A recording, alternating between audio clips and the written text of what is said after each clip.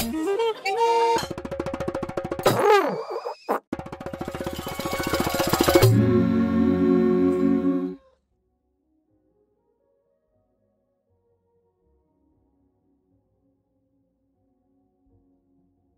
and welcome to episode of Jake's. I just had the fucking strangest dream. We all have, don't we? Dreams on their fucking mantle. I've been um, playing Dreams by Media Molecule. Came out on Valentine's Day or something like that. And I thought, like, I'll keep a dream diary. I'm gonna go down a rabbit hole, find the weirdest dreams, and just thought I'd share them with you. Thought it'd be a nice little break up from like the big podcast that we do. Uh, just me kind of talking you through some of the best and worst things I've seen on Dreams because it is like a great platform to make games, but it's also you know can hide some pretty bad things. But it'd be a bit of a laugh, I thought. So I'm gonna do a bit of voiceover now and just talk you through some of my findings. We've got all sorts coming up, like PT remakes in there. Got some Spider Man. I've got some pictures of like a dinner that someone's made and stuff like that. Um, but yeah, just uh, thought I'd share it with you and see what you think.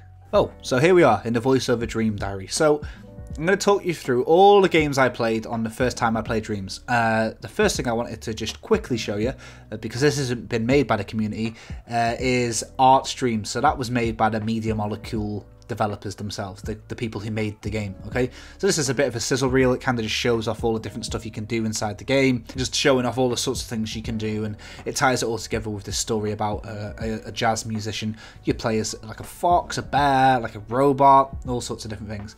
Um, so that's pretty cool, but that's kind of what you expect from the people who made the tools themselves, right? You expect that. So what about when we leave it to, yeah, just regular people, creatives out there from all over the world, probably alone in their room, uh, doing games by themselves. Let's have a look. All right, so this is Pip Gem Cutter. It's like I think it's the highest rated game not made by Media Molecule. It's like a gigantic rip off of Captain Toad's Treasure Tracker.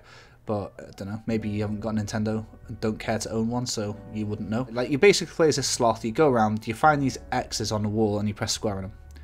And it gives you a gem. You get two gems, you can jump into the gem. Boom, that's it. And then the next, so like that's this pretty much the whole game. Uh, Ruckus, this is a good one. This is like probably the best one I played actually. You play as this like fat, aggressive blob, so very relatable. Clearly, it's cool. You just go around destroying the, the city like rampage, and there's different camera angles from like the police helicopters and stuff. It's really cool. You can like shoot laser beams out of your eyes. This is Yoshi's Island demo, right? Doesn't matter if I'm very good at it. Don't you know? Don't don't watch that. So somebody has like made Yoshi. That's cool. Like, what do you do? You jump, land on a platform. That's it. That's the whole game. So it's like cool. It's a really cool look looking Yoshi, that isn't it? But that's it. Look, I'm I'm up here now. That's my time with this game over. It's done. This is what I'm talking about. That was good for 15 seconds, and then before you know it, like I fell down a rabbit hole. Like there's like stuff like this. Mario. It looks good on the surface, but I don't know. You just can't get on with it. This one is particularly good. It's like just a, very vacant city with uh, the Flash. You can put his mask on and off, or you can like be the flat. I fell off there, but you can be the Flash, and like it's all set to like Lil Nas X Old Town Road. It's made by this guy. He's Ace. This is his best design, right? It's like the Haunting of Hill House, the Bent Neck Lady. Like it's all set to like the Family Guy theme song. So I guess it's it's more like a concept than a game, if you know what I mean. There's a lot of these, yeah. Like uh, I don't know, it's it's certainly something. But I heard that there there is some like some good stuff, yeah. This is a good one. This is a really good one. It's the full game. I don't know how they've managed to get the audio so good, but like it is the full experience, really. You know, you- you'll see what I mean in a minute when you see uh, Lisa. I'll kind of give you a warning. I think it's just around this corner actually. You first see her, but my like my wife hasn't ever seen a real PT, yeah. So we were playing it, and it was getting tense. You know, the atmosphere, the atmosphere's not you know not quite the same, but it's getting there. Look at that. I see, like you look at me moving about. I was actually worried at this point. I was worried I was going to get jump scared by that like Cabbage Patch Kid version of Lisa. Like the atmosphere was really good, and like this is like a really perfect type of game to remake. Remake a small game like with an L-shaped corridor and like a weird woman with one eye.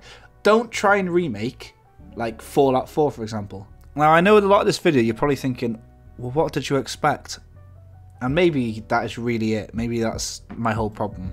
Maybe I was expecting better, but You know, like first of all, I spoke to Mr. Handy. Like at this point, I was sick of dreams, so I didn't care what I was saying to anybody. I just wanted to get through it. He fucking killed me straight away. So I don't know. I don't know if that really happened in the original Fallout 4, but but yeah, you're just playing this like patch of brown dirt. There's no like, um, as far as I know, there's no like proper quests and stuff like that. I completed the quest by speaking to Mr. Handy. So if that is a quest, what other sort of quality of you know I like this one a lot. This one is called Art Therapy and it's dead simple.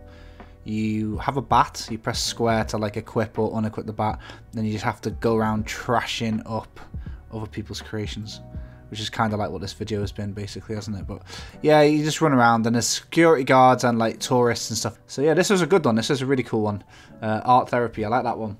This is the top of trending at the moment. Um, this is, it looks like Sonichu, doesn't look like the real Sonic at all. Using his infamous Sonic Slash attack there to destroy this giant monster. So pretty simple idea, but it's one of these where like, does it have to be Sonic? It's probably worse that it is Sonic. Because I was just sitting here the whole time thinking, oh, well, so Sonic doesn't shoot things out of his arms. So uh, I don't know. This one, I don't know about this one.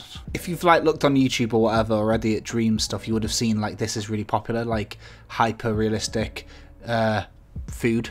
I don't really know why. Like you can't play it or anything like that, but it's just like a a nice picture. There's some like basic interaction, like you can see that there's labels here. Artisanal bun made me laugh out loud when I played it.